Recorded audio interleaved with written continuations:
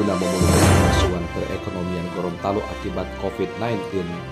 Wakil Ketua DPR Rahmat Gobel menggagas sejumlah program untuk menggairahkan kembali aktivitas perekonomian seiring diberlakukannya kebijakan New Normal Life oleh pemerintah. Program yang dirancang akan melibatkan Bank Indonesia dan sejumlah pelaku UKM itu selain ditujukan untuk menggairahkan kembali roda perekonomian juga untuk merawat budaya wirausaha bagi pelaku UMKM.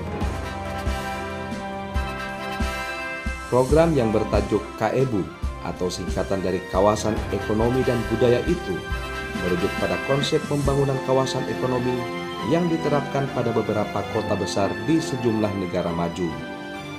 Konsep ini merupakan perpaduan antara bisnis wisata kuliner dan pentas seni serta kreativitas anak-anak muda di dalam satu kawasan yang ditata apik dan menarik sehingga bisa menjadi destinasi wisata baru. Rancangan kawasan ini diupayakan dapat diselesaikan pada bulan Oktober tahun ini.